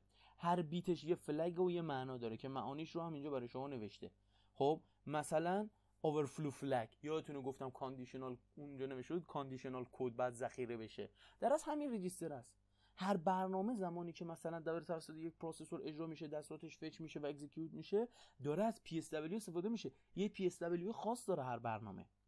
خب حالا یه این PSW هر کدومش معنایی داره. مثلا zero flag. آقا مثلا این عملیات که ما انجام میدیم خب صفر شده حاصلش یا نه؟ جایی که من برم کلی اون همه مثلا بیت خروجی رو چک بکنم یه zero flag رو اگه چک بکنم می‌فهمم که حاصل صفره. یا parity flag carry flag. مثلا من دو تا عدد با هم جمع کردم این حاصل carry داشته یا نه؟ خب یا اینکه اصلا ما گفتیم interrupt enable flag اصلا آقا این برنامه ما اجازه داریم وسطش interrupt بدیم یا نه؟ disable ش کردیم. خب اینا به حال اطلاعاتی هستش که مثلا ممکنه register داخلش CPU باشه. خب یه register ی داخل CPU منتهای مراتب بحثی که وجود داره اینه که خب برنامه با برنامه PSW ش فرق می‌کنه. خب حالا برگردیم به بحثمون که آقای استالینگز داشت می‌گفت. ببینید آقای استالینگز میگه که the processor next needs to prepare to transfer control to the interrupt routine processor بایستی آماده بشه که کنترل رو بده به دست interrupt routine. یعنی برنامه‌ای که داشتم اجرا می‌کردم و بذارمش کنار برم interrupt handler رو اجرا بکنم. خب نکته ای که وجود داره اینه آقای processor تو داری در حال حاضر یه برنامه واسه خودت اجرا می‌کنی درسته؟ خب اگر اطلاعات interrupt routine رو یا interrupt handler رو بیاری توی CPU و register های CPU رو پر بکنی از اطلاعات برنامه جدید اطلاعات برنامه قبلی میپره. اگر اطلاعات برنامه قبلی بپره من از کجا بفهمم که ما قبل از اینکه interrupt بخوریم تا کجا اجرا کرده بودیم برنامه رو؟ ببین توی این شکل مگه ما نگفتیم؟ گفتیم آقا اینجا زب در interrupt می‌خوری میری interrupt handler رو اجرا می‌کنی برمیگردی باید بی برنامه رو از ادامه اجرا بکنی نه از اول. خب برنامه تو این لحظه که داره interrupt می‌خوره register های CPU یه اطلاعاتی در رابطه باهاش دارن و اطلاعات توی اون register ها هست که داره وضعیت برنامه رو توی این خط از instruction توصیف می‌کنه. من اگر برنامه interrupt handler رو بیارم بزنم تو register های CPU و اونا رو پرش بکنم از اطلاعات این برنامه اطلاعات برنامه قبلی که داشتم اجرا می‌کردم میپره. پس باید اطلاعات این برنامه که داشتی اجرا می‌کردی یه جا ذخیره بکنی که زمانی که interrupt handler کارش تموم شد رفت اون اطلاعات رو برگردونی به register های CPU. CPU از ادامه اون جایی که بود کار رو اجرا بکنه. اینجا دقیقا آقای استالینگز همینو میگه. میگه که آقا ما باید چیکار بکنیم؟ It saves information needed to resume the current program. At the point of interrupt. ما باید یه سری اطلاعات رو ذخیره بکنیم که نیاز داریم برای اینکه بخوایم اون برنامه که داشتیم اجرا می‌کردیم رو از همون جایی ادامه بدیم که interrupt اومد The minimum information required یعنی اون حداقل اطلاعاتی که لازم ما ذخیره بکنیم is the program status word که یه نمونه شو دیدید and the location of the next instruction to be executed. و لوکیشن اینستراکشن بعدی که باید ما اجراش بکنیم. Which is contained in program counter یا PC که اون دستور بعدی که باید اجرا بشه توی PC قرار داره. This can be pushed onto a control stack. که میگه آقا همه اینها می‌تونه داخل یه چیزی ذخیره بشه به اسم استک ما با ساختار استک جلسه پیش آشنا شدیم. اما سوالی که ممکنه برای شما پیش بیاد اینه که آقا چرا این اطلاعات PSW و این PC رو توی یه استک میریزه؟ چرا نمیاد مثلا توی چیزی مثل register ذخیره‌ش کنه چرا حتما باید یه مکانیزمی شبیه به stack باشه؟ اینو توی appendix P گفته. منم قصد دارم appendix P رو به شما تو همین جلسه توضیح بدم. فقط از شما اجازه می‌خوام که اجازه بدید من به انتهای این بخش برسم یعنی تا قبل از multiple interrupts برسم. بعد موقعی که به ابتدای multiple interrupt رسیدم میرم appendix P رو توضیح میدم که کامل دستتون بیاد. چرا این اطلاعات رو توی یه stack push می‌کنیم و بعد از اینکه اون بخش تموم شد میایم و interrupt رو ادامه میدیم بهتون خدمتتون. خب ما این بخش بودیم. اوکی پس آقا الان device interrupt رو میده. processor اجرای instruction فعلیش رو تموم می‌کنه. processor یه acknowledge میده که آقا ما interrupt رو دریافت کردیم. processor PSW و PC رو توی یه stack ی ذخیره می‌کنه. حالا processor کار بعدی که انجام بده چیه؟ loads new PC value based on interrupt یعنی بخش 5 The processor then loads the program counter with the entry location of the interrupt handling routine. خب آقا الان بایستی بره برنامه interrupt handler رو اجرا بکنه. این interrupt handler آدرس اولین خط از دستورش کجاست؟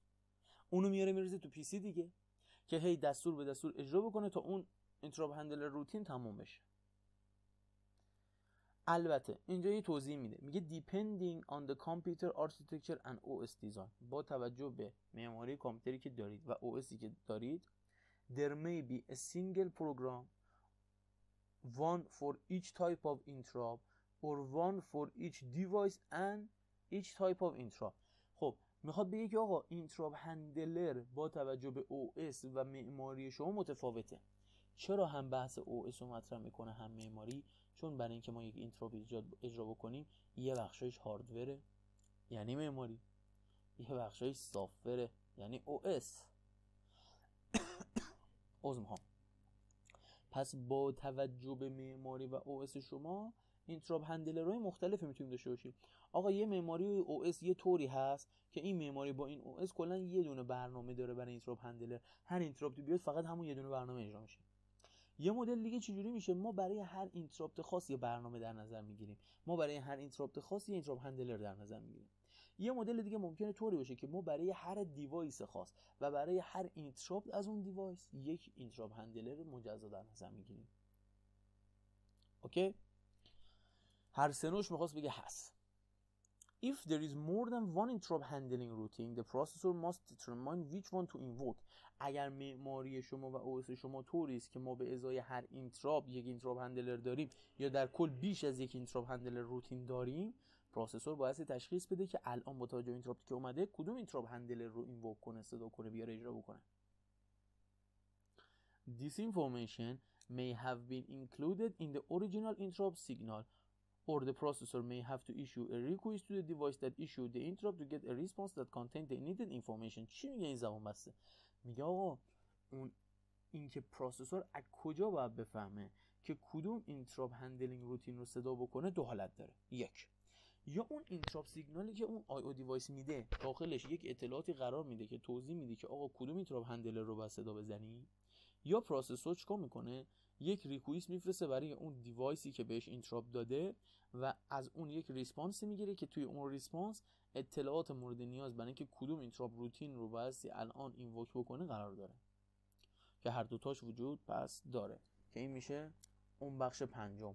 processor loads new PC value based uh, based on interrupt و اینجا دیگه آخرین مرحله که توی hardware صورت می‌گیره. و بعد از اون ما وارد بحثای software ی میشیم. Once the program counter has been loaded the processor proceeds to the next instruction cycle. یعنی آقا زمانی که دیگه PC اضافه میشه باید چیکار بکنیم؟ باید processor شروع کنه دستور بعدی رو که مربوط به interrupt handler هست اجرا بکنه که خب هر کدوم دستورات interrupt handler هم نیازمند یک instruction cycle دیگه. و پس باید fetch بکنه و اجرا بکنه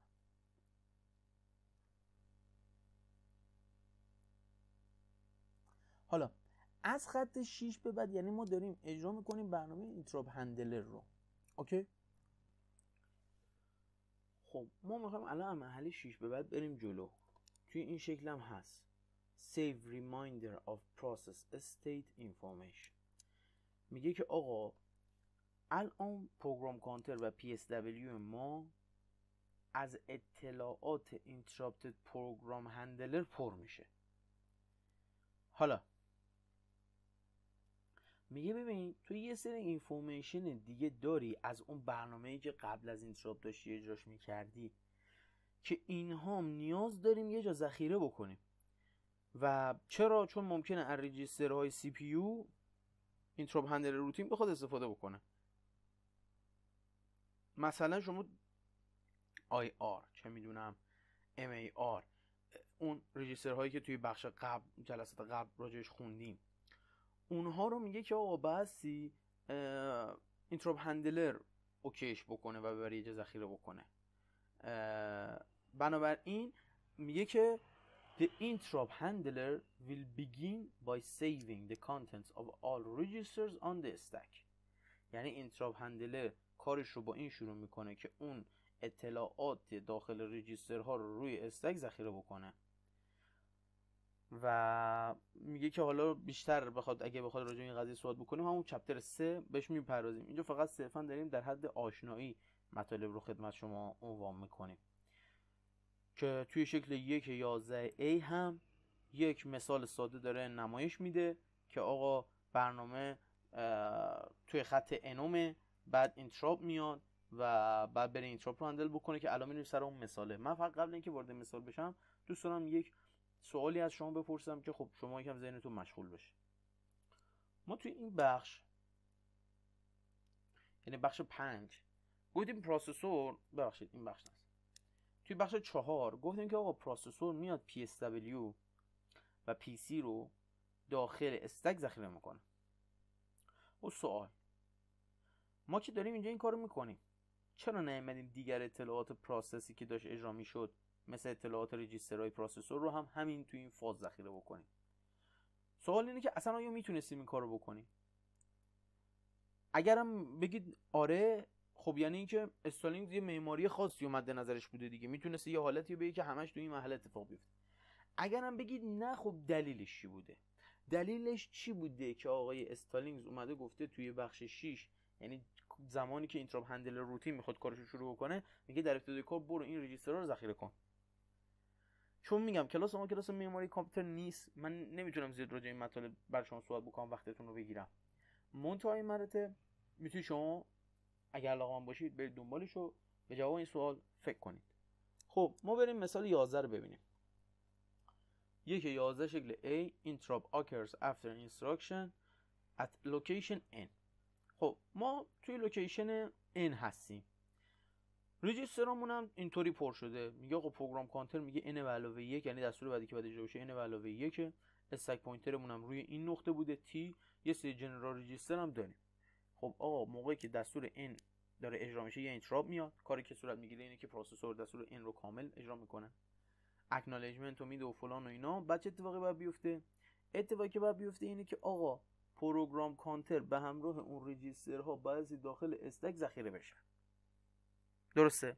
که در ابتدای کار هم اول general register ها رو ذخیره می‌کنه و بعد پروگرام کانتر رو ذخیره می‌کنه.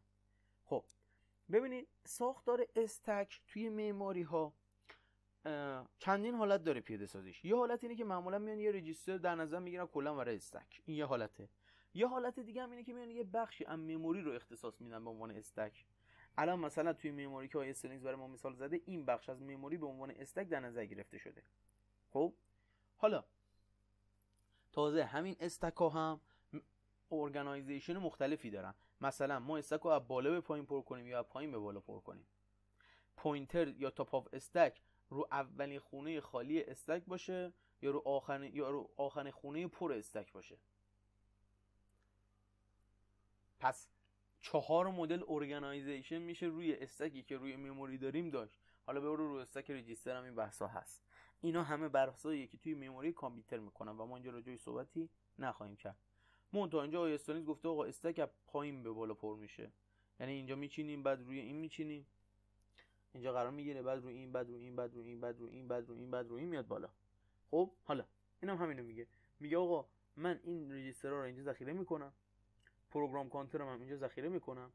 آدرس top of stack همون می‌ذارم. یه دونه خونه خالی بعد از stack یعنی اولین خونه خالی بعد از stack که میشه T منهای M مثلا گفته آقا اینا اندازشون M تاست دیگه ها؟ اینجا که از صفر شروع میشه تا T پس من اگه بخوام بیام عقب باید M تا T کم بکنم که میشه T منهای M که خب میگه که آقا T منهای M ببر تو stack. حالا interrupt اومده. من باید interrupt رو handle بکنم. interrupt service routine آدرس start ش Y ه پس من باید Y رو توی program counter م هم قرار بدم. پس این اون مکانیزمی بود که آقای استالینگز توی این شکل داره به شما میگه.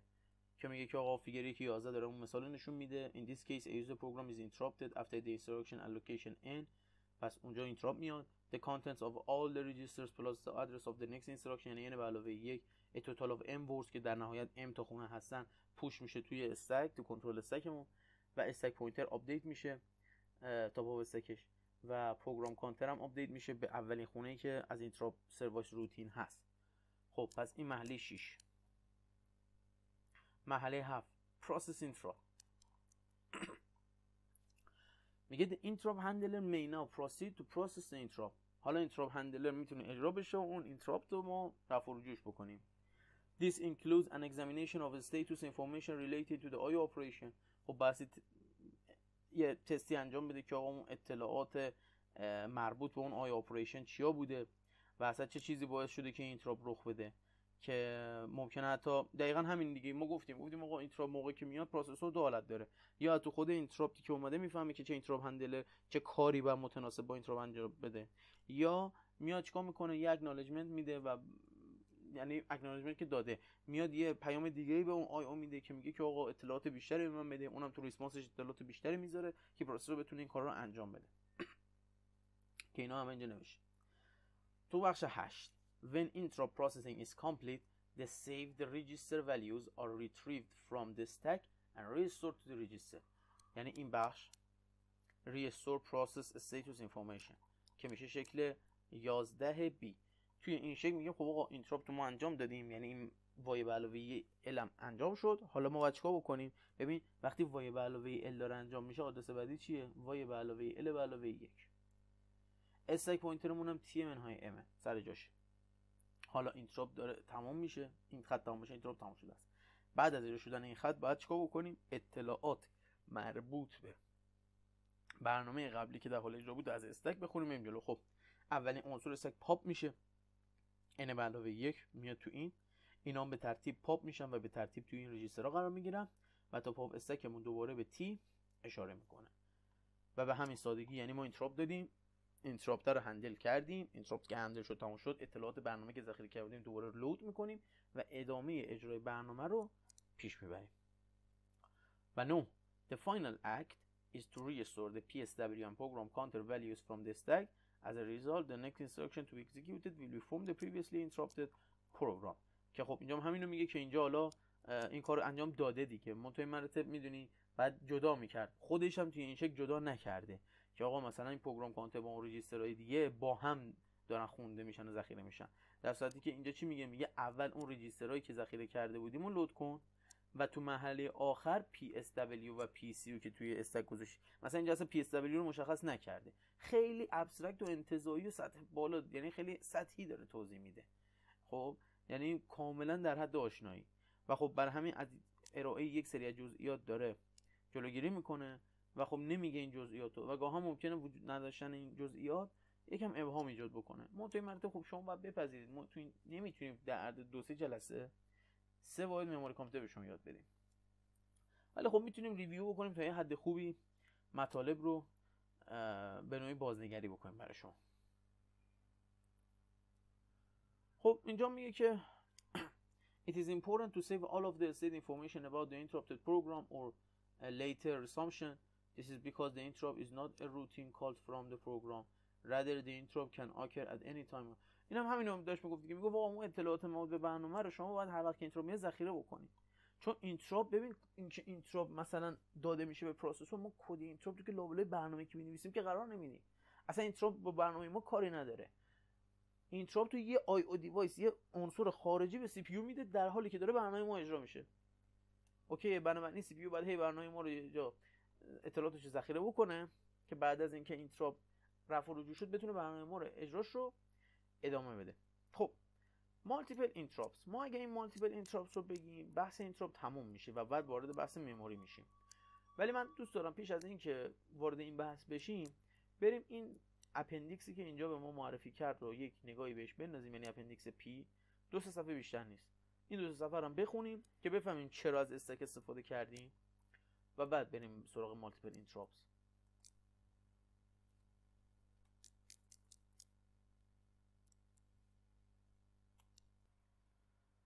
توی این appendix آقای ویلیام استالینگز به بحث procedure control می‌پردازه. ببینید وقوع, اس... وقوع interrupt خیلی شبیه به وقوع یک procedure ه procedure calling ه.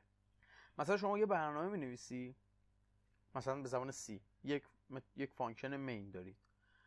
و میاد یک سری function های دیگه هم که خودتون می نویسید داخلش استفاده می‌کنید. مثلا یه function می نویسید دو تا عدد با هم جمع می‌کنه. یه function می نویسید بین دو تا عدد ماکسیموم می‌گیره.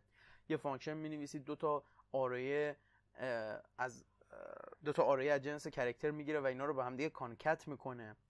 و خب ببینید مشکلی که هست اینه که در روند اجرای اون برنامه یک اتفاقی که میفته اینه که آقا خط بعدی که باید اجرا بشه دیگه میره مثلا سمت اون تابعی که call شده. یعنی اولین دستوری از اون تابعی که call شده. interrupt هم انگار یه جوری شبیه به این مکانیزم داره عمل می‌کنه. موقعی که شما یه دستور اجرا می‌کنی و داری interrupt میاد بعد از اینکه دستور تموم شد نمیری دستور بعدی برنامه اجرا کنی. میری interrupt handler رو اجرا می‌کنی. خط اول interrupt handler. بنابراین ما اگر بفهمیم چه مکانیزمی پشت procedure control وجود داره می‌تونیم از همون اون مکانیزم بیایم کمک بگیریم و استفاده بکنیم. در زمانی که interrupt میاد می‌خوایم interrupt handling بکنیم. سه بخش داره. بخش stack که خب من اینو خیلی مختصر میگم چون مطالب خیلی زیادش تا به حال بهتون گفتم. بخش procedure calls and returns و بخش reentrant procedures که حالا متوجه میشیم چی هست. خب ایشون هم همینطور میگن. میگه آقا شما برنامه نویسی بعد برنامه‌ای که داری می‌نویسی یه مثلا میگم زبان C یه تابع main داره یه سری تابع و procedure دیگه می‌نویسی که داخل اون تابع main ازشون استفاده می‌کنی اونا رو call می‌کنی و ما برای اینکه بتونیم اجرا اونا رو طوری اجرا بکنیم که آقا وقتی این تابع call میشه بریم تابع رو اجرا بکنیم. بعد که تابع تمام شد برگردیم همون جایی که تابع call شده بود کار رو ادامه بدیم از stack استفاده می‌کنیم.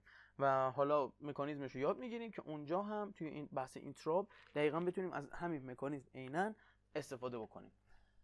خب بحث استک رو مطرح می‌کنه که چی هست ما گفتیم بحث لیفو رو گفتیم و اینا. بعد اینجا مطرح می‌کنه که آقا خود استک معمولا به چند نوع پیاده میشه. یه حالتش اینه که مثلا توی مین مموری یه بخشی براش در نظر می‌گیرن یا اصلا یه ریجیستری کلا می‌ذارن برای بحث stack خب این stack ی که ما معمولا استفاده می‌کنیم روی memory ه و stack ی هم که ما معمولا استفاده می‌کنیم از پایین به بالا پر میشه و decreasing addresses به عبارتی. حالا توی main memory ما باید مشخص بکنیم محدوده stack کجاست. ما نیاز به دو تا register داریم. stack base stack limit. stack base آدرس شروع stack رو داخلش ذخیره می‌کنه. stack limit اون نهایت آدرسی که یه stack می‌تونه بهش expand بشه و بهش برسه رو ذخیره می‌کنه. stack pointer هم به اولین خونه خالی stack داره اشاره می‌کنه. که تک تک این register رو نوشته و در صحبت می‌کنه که خب ما فعلا راجبش با اینجا جا کاری نداریم. می‌پردازیم به بخش دو که میگه procedure calls and returns. خب یه تکنیک خیلی مطرح برای اینکه ما بتونیم این procedure call ها رو handle بکنیم stack زمانی که یک procedure می‌خواد زمانی که processor داره یک procedure call ی رو به عبارتی اجرا می‌کنه یعنی می‌خواد call بکنه یک procedure رو باید چیکار بکنه؟ اون جایی که الان داخلش هست رو push بکنه توی stack که آدرس بازگشت رو نگه داره. و زمانی هم که آقا اون اجرا procedure تموم شد اون آدرس بازگشت رو از stack pop بکنه و ادامه بده اجرا رو. اینجا یه مثال برای شما آورده گفته توی figure P دو ما و figure P 3 که حالا اینجا میشه میگه آقا ما اینجا یه برنامه نوشتیم از خط 4000 تا این قسمت return این کل برنامه‌مونه مثلا. خب حالا این main مون هست این main program مون هست دو تا procedure براش نوشتیم. توی این main program یه calling procedure داریم. توی procedure یک هم procedure دو رو call می‌کنیم یه چند بار. خب می‌خوایم ببینیم این برنامه چجوری اجرا میشه و چجوری از stack کمک می‌گیره و با کمک از این stack کارش رو انجام میده. خب ببین برنامه شما اینجا شروع میشه. از خط 4000 میاد جلو می‌رسه به خط 4100 خط 4100 calling procedure یک. همونطور هم که می‌بینید در فلش اومده اینجا تا خورده به calling procedure یک. ما باید چیکار بکنیم؟ بریم procedure یک رو اجرا بکنیم. منتها قبلش آدرس 1401 یعنی خط بعدی که باید اجرا بشه رو داخل stack ذخیره می‌کنیم. پس این initial stack مون هست. اینجا 4101 رو داخلش چیکار می‌کنه؟ ذخیره می‌کنه. بعد از اینکه calling procedure یک رخ میده ما می procedure یک رو از خط 4500 شروع می‌کنیم اجرا کردن. می‌رسیم به 4600 تو 4600 procedure دو call میشه. پس ما باید آدرس 4601 رو داخل stack ذخیره بکنیم و بعد بیایم procedure دو رو یعنی خط 4800 شروع کنیم اجرا کردن. اینجا نگاه کنید ما اینجا این بالا شروع کردیم این فلش اومدیم اینجا. بعد اینجا که procedure یک call شد پریدیم سمت procedure یک اومدیم جلو. اینجا procedure دو call شد پریدیم اومدیم اینجا. خب فقط قبلش بعد چیکار می‌کردیم؟ 4601 رو توی stack push می‌کردیم. ببین اگر این ساختار stack نباشه ما نمی‌تونیم این calling ای تو در تو رو پیاده بکنیم. خوبی stack اینه که last in first out برای همین می‌تونیم این تو در تو بودن calling توابع رو پیاده سازی بکنیم.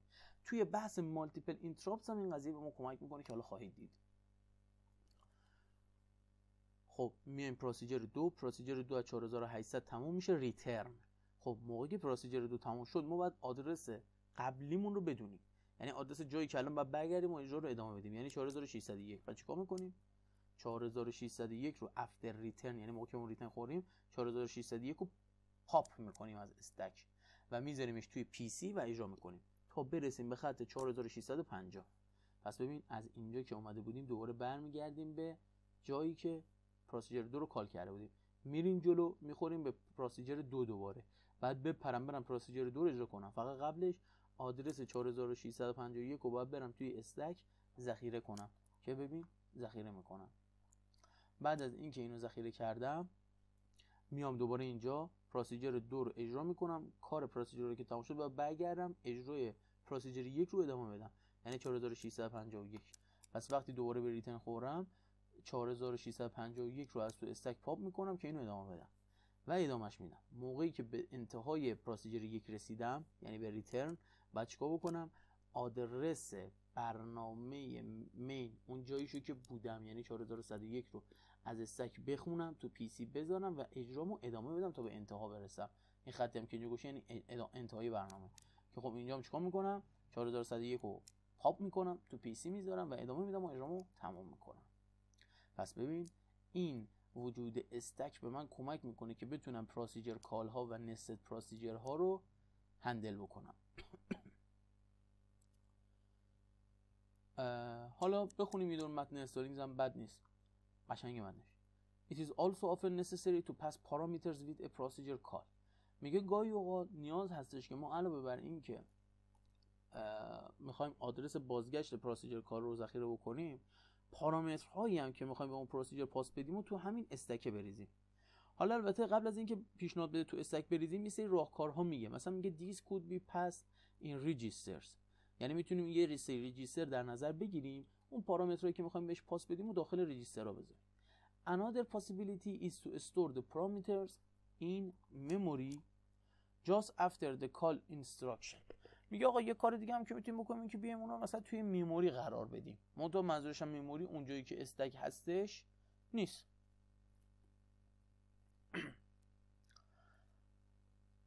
In this case, the return must be to the location following the parameters.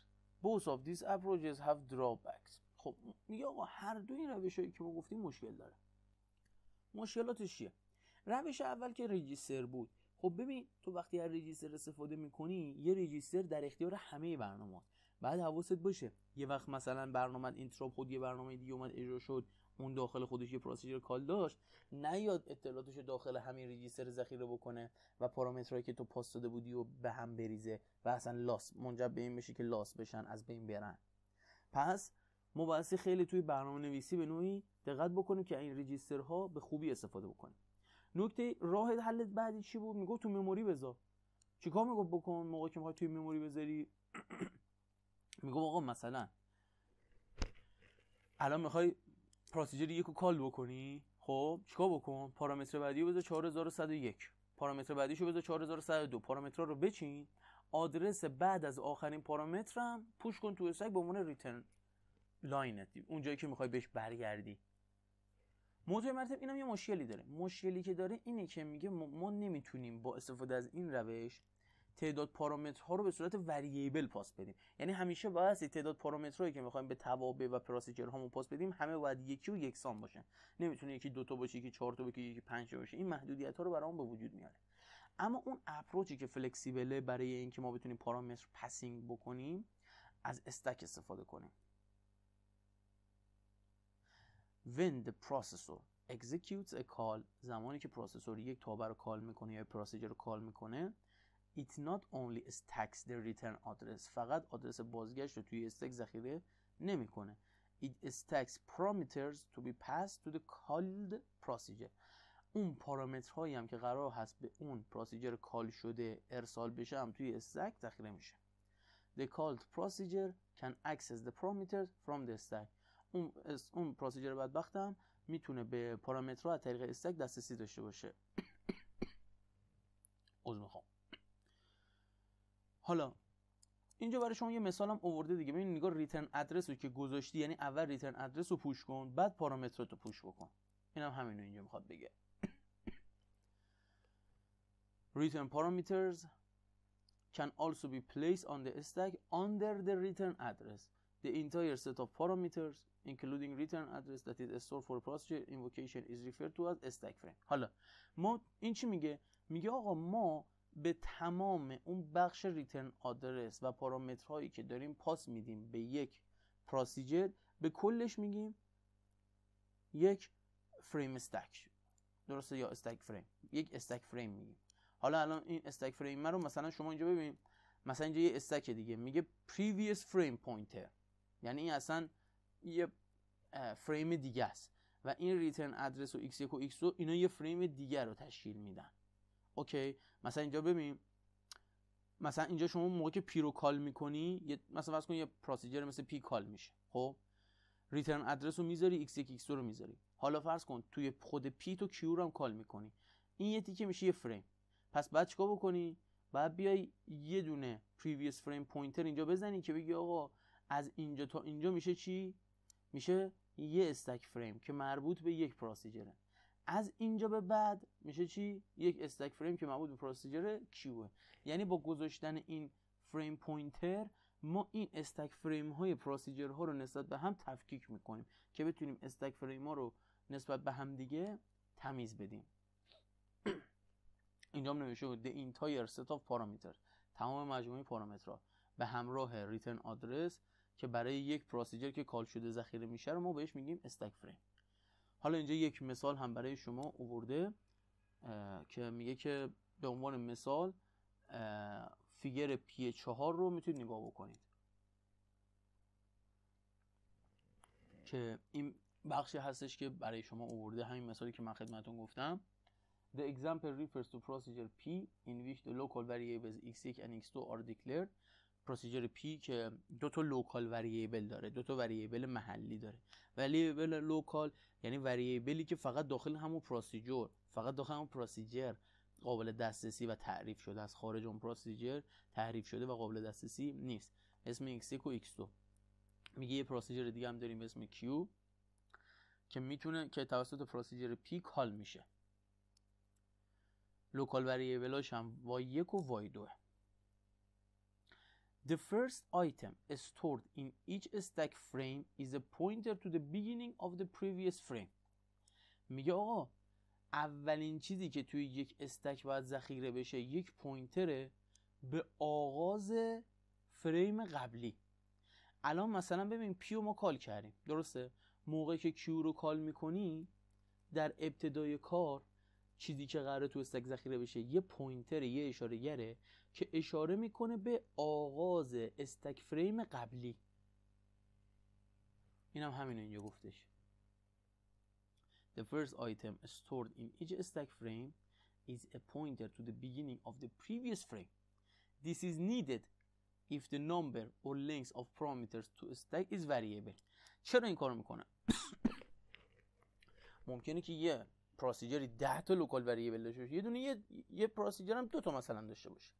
یعنی طول stack frame ها بعد بچه ها نسبت به هم متغیره. یکی ممکنه stack frame ش 10 خونه باشه که 5 خونه باشه. ولی ما برای اینکه بتونیم بگیم که آقا چند خونه از این stack متعلق به یک stack frame هست میایم یه pointer همیشه می‌ذاریم که آقا هر وقت به این pointer رسیدیم یعنی آقا این stack frame تموم شد. اگر هم بخوای برگردی به ابتداش می‌تونی این pointer برگردی به ابتدای stack frame مثلا. متوجهی؟ ولی می‌تونیم با این کار stack frame ها رو نسبت به هم دیگه تفکیک بکنیم Next is stored the return point for the procedure نقطه بازگشت اون return type اون نقطه return رو ما داخل stack مون push می‌کنیم finally space is allocated at the top of the stack frame for local variables local variable ها رو پاس میدیم these local variables can be used for parameter passing از همین local variable ها برای پاس دادن پارامتر هم استفاده می‌کنیم میگه for example suppose that when p calls q زمانی که p q رو کال می‌کنه it passes one parameter value یک پارامتر می‌خواد بهش پاس بده this value could be stored in variable y1 این value رو میاد توی variable y1 ذخیره می‌کنه و این high level language تو زبانهای سطح بالا there would be an instruction in the p routine that look like یعنی این شکلی. Call q y1 یعنی شما تابع q1 یا پروسیجر q1 رو که می‌خوای کال بکنی پارامتر y1 رو هم بهش پاس میدی. When this call is executed a new stack frame. پس یک استک فریم برای Q ساخته میشه. این هاشش یک استک فریم برای ساخته میشه. Which includes a pointer to the stack frame for P که داخلش یک پوینتر هست به استک فریم P این اولین خونه ای که گفتیم داخلش ذخیره میشه the return address to P return address to P and two local variables for Q یعنی y1 و y2 which is initialized to pass parameter value from p که مثلا y که توسط اون پارامتری که پاس داده شده اینیشیالایز یا مقدار دهی میشه. ارزم به خدمتتون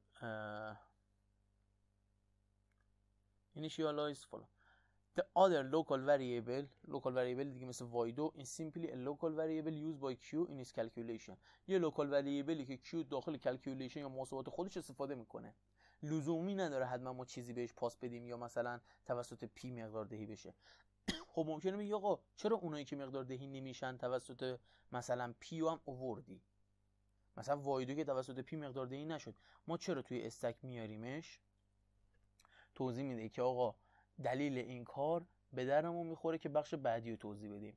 یعنی reentrant procedures. همین یه دوتا پاراگراف که نشون میده چه کار مفیدیه که ما تمام local variable رو تو stack بریزیم. چه اونایی که توسط procedure ی که اونا رو call می‌کنه مقدار دهی میشن چه اونایی که مقدار دهی نمیشن. مثلا y یک مقدار دهی شده ولی y دو مقدار دهی نشده. اما داستان reentrant procedure چیه؟ ببین ما ممکنه یک procedure ی داشته باشیم که توسط user های مختلفی بخواد اجرا بشه یا اون توسط برنامه های مختلفی بخواد اجرا بشه. نکته ای که هست اینه که آقا این procedure ما یه کد داره. کدش قرار نیست تغییر بکنه. خب اما وقتی مثلا این procedure که کدش قرار تغییر بکنه توسط یک program اجرا میشه ممکنه یه سری پارامتر بهش pass داده بشه. وقتی توسط یه program دیگه اجرا میشه ممکنه یه سری پارامتر دیگه بهش داده بشه. بنابراین میایم چیکار می‌کنیم؟ میایم توی memory دو بخش در نظر می‌گیریم. یه بخش بخش استاتیکه که کد اون procedure توش قرار می‌گیره و تغییر نمی‌کنه و حالا هر user یا هر برنامه که می‌خواد اون procedure رو call بکنه میام یه بخشی توی memory براش در نظر می‌گیریم. که اون local variable اون تو ممکنه نسبت به هم متفاوت باشه. مثلا یه برنامه شما نوشتی به عنوان پارامتر دو سه رو pass میده.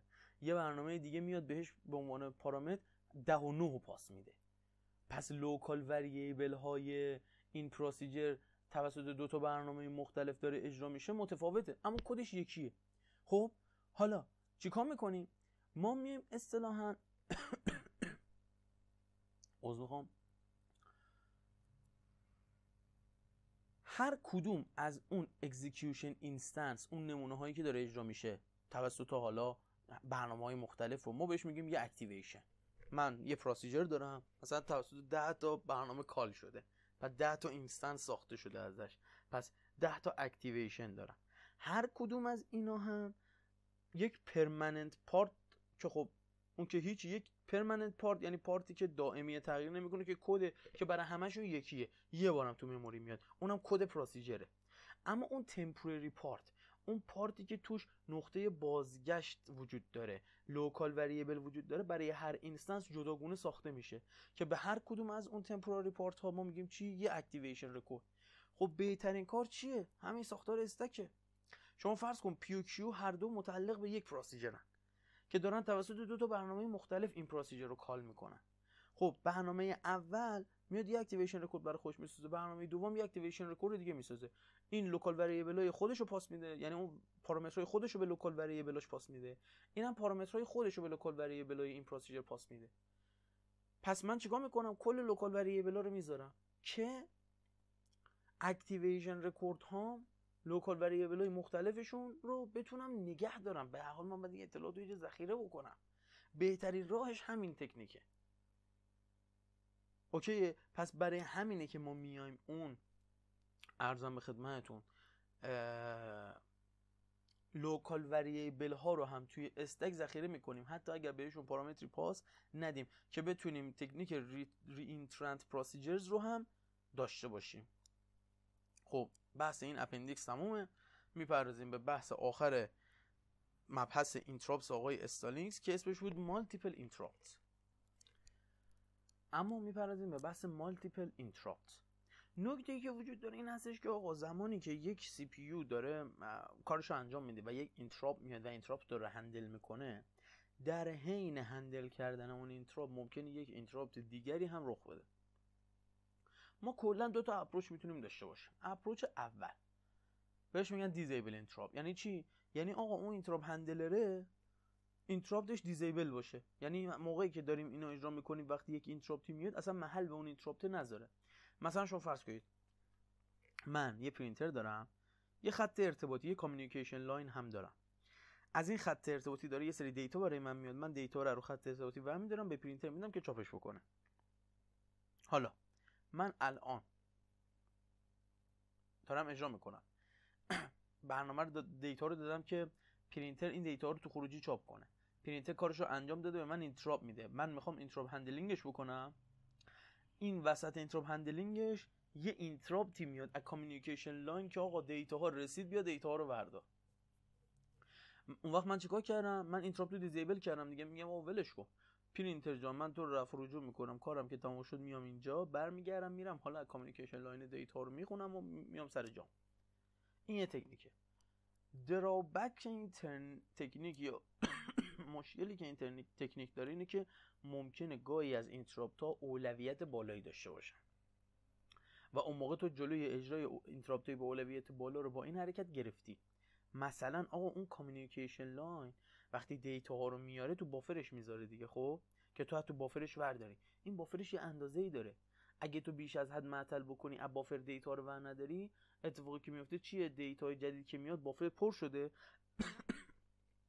نمی‌تونه تو buffer قرار بده. data loss میشه یا buffer overflow میشه. برای همین ما میگیم چیکار می‌کنیم؟ تکنیک دوم. میگیم آقا نه. تو interrupt handler که interrupt داری اجرا می‌کنی اگر interrupt ی اومد که اولویتش تو بالاتر بود مثلا می communication line interrupt اونو رو انجام بده و برگرد و دوباره کارتو ادامه بده. اینجا توی مثال هم همینو میگه دیگه. میگه از زمان t ما اومدیم اینجا تو t ده interrupt اومده. توسط پرینتر. خب ما t اومدیم اینجا. تا t 15 اجرا کردیم تو t 15 communication interrupt داده. interrupt ش handle می‌کنیم برمیگردیم اینجا تو 25 ما 25 بودیم تو 25 دوری interrupt دیگه میاد. okay از دیسک. میریم دیسک رو انجام میدیم. تو 35 برمیگردیم تو 40 هم برمیگردیم سر جای خودمون. اینو میگن multiple interrupt ی که بتونیم به صورت nested تو در تو interrupt رو انجام بدیم. خب ما این بخش interrupt آقای استالینگز رو گفتیم. من فکر نمی‌کردم انقدر بخواد توضیح این بخش طول بکشه ولی طول کشید. مهمم نیست چون interrupt خیلی مهمه. تو OS ما ازش خیلی استفاده می‌کنیم. ببینید ما اینجا چند مدل interrupt خوندیم. اجازه بدید من یکاش آها. program interrupt timer interrupt I/O hardware failure ما بیشتر راجع به I/O توی این جلسه صحبت کردیم. راجع به program معمولا توی اینکه مثلا چجوری بتونیم overflow رو تشخیص بدیم divide by zero رو تشخیص بدیم و اینا تا یه حدودی تو معماری توضیح میدیم. یه بخشایش هم مثل دستیابی به حافظه غیر مجاز و اینا رو ما توی همین درس OS خودمون جلوتر توضیح میدیم. یا timer رو ما تو درس خودمون جلوتر توضیح میدیم. برای همین خیلی درس خیلی بخش مهمی بود که ما بگیم. توی section یک همین کتاب آقای استالینگز یعنی همینجا یه اوورویوی داده بود دیگه. گفته ما چیا باید یاد بگیریم. خب ما الان این بخشی که understand the concept of interrupts and how and why a processor uses interrupts رو توضیح دادیم. بخش بعدی مربوط به memory هست. البته این یه بخش هم ما توضیح دادیم. understand the operation of a stack and its use to support procedure call and return. یعنی الان دو تا objectives دیگر هم ما تو این جلسه تونستیم شما بگیم و پوشش بدیم. بحث بعدی بحث memory است که من ترجیح میدم اون رو توی یک ویدئوی دیگه ضبط بکنم که این ویدئو طولانی نشه و دیدنش برای شما خسته کننده نباشه. امیدوارم که موفق و مایت باشید. هر جای این فیلم ها سوالی هست هم تو جلسات حل تمرین اونا رو بپرسید و رفع رجوع بکنید. اما توی گروه تلگرامی که معرفی شده می‌تونید سوالاتتون رو بپرسید. هر جایی از این فیلم ها رو که متوجه نشدید یا احساس می‌کنید ما خوب توضیح ندادیم که اونجا بیشتر بهش بپردازیم و خدمتتون توضیح بدیم. امیدوارم که سالم و سلامت باشید. فعلا خدا نگهدار.